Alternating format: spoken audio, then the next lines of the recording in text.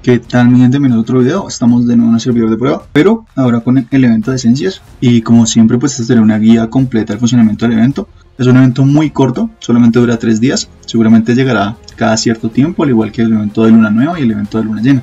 En la barra de progreso solo vamos a conseguir Carmota, que nos permite pues subir la rareza de nuestras esencias y también pues cofres de esencias elementales.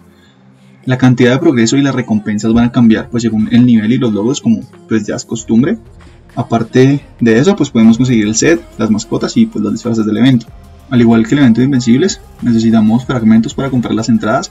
Una entrada al primer mapa cuesta 10 fragmentos y una entrada al mapa blanco cuesta 28 y una entrada a cualquiera de los otros mapas de los colores cuesta 32. Una vez dentro del primer mapa vamos a eliminar a todos los enemigos. En este mapa solo vamos a conseguir rocío de cristal que es necesario para entrar a los mapas de colores. Una vez terminemos de limpiar, aparecen más enemigos a los que podemos derrotar si queremos conseguir pues más rocío de cristal. Y la cantidad pues de rocío de cristal aumenta pues con la dificultad del mapa.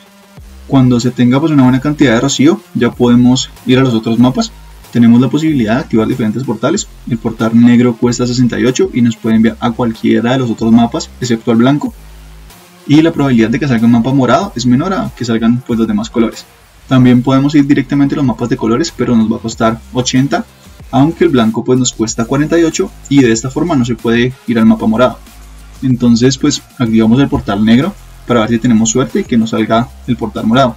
Cada mapa nos puede dar una esfera elemental y una parte del set. Tenemos que limpiar el mapa completo para que aparezca el jefe y este jefe es quien nos va a dar las esferas y las partes del set. En los mapas de colores es donde vamos a conseguir el progreso para las barras. El mapa morado eh, nos puede dar pues esferas de Ander y el yelmo único. El mapa rojo, esferas de fuego y las sombreras únicas.